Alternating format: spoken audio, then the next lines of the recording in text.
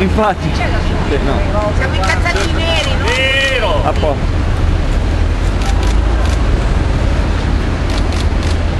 Ok, grazie. Come parlamentari milanesi abbiamo voluto scrivere una lettera al prefetto per sottolineare la gravità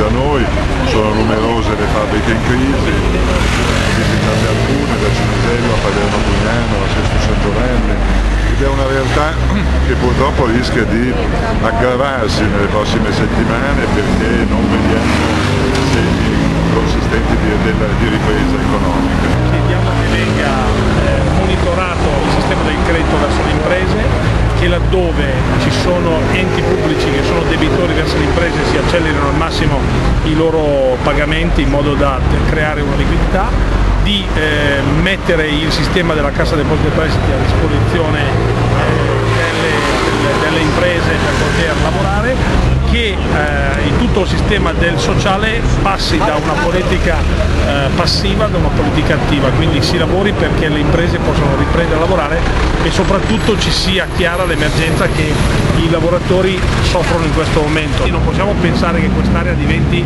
un'area post-industriale, che cosa succede a questi territori va assolutamente monitorato e il prefetto, eh, per rappresentante del governo sul territorio, eh, deve assolutamente attivarsi perché ciò accada.